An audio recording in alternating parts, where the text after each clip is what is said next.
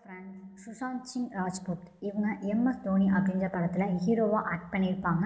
இந்த படம் ஃபுல்லாக நம்ம இந்திய டீமுக்கு கேப்டனாக இருந்த தோனியோட வாழ்க்கை வரலாறை ஃபுல்லாக முழுக்க முழுக்க எடுத்திருப்பாங்க. இந்த படத்தில் தோனியோட கேரக்டராக சுஷாந்த் சிங் ராஜ்புத் வந்து ஆக்ட் பண்ணியிருப்பாங்க.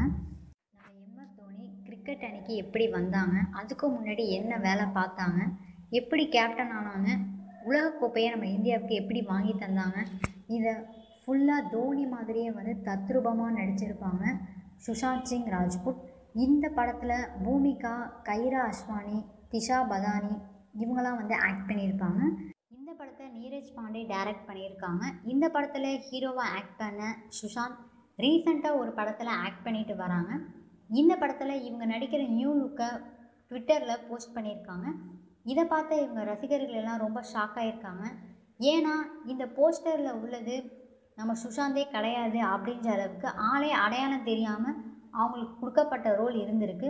அவங்களோட காஸ்டியூம் ஆகட்டும் கேரக்டர் ஆகட்டும் ரொம்ப டிஃப்ரெண்ட்டாக இந்த படத்தில் காமிச்சிருக்காங்க. இந்த வீடியோ உங்களுக்கு பிடிச்சிருந்தா லைக் பண்ணுங்கள் ஷேர் பண்ணுங்கள் நம்ம சேனலை சப்ஸ்கிரைப் பண்ணுங்கள்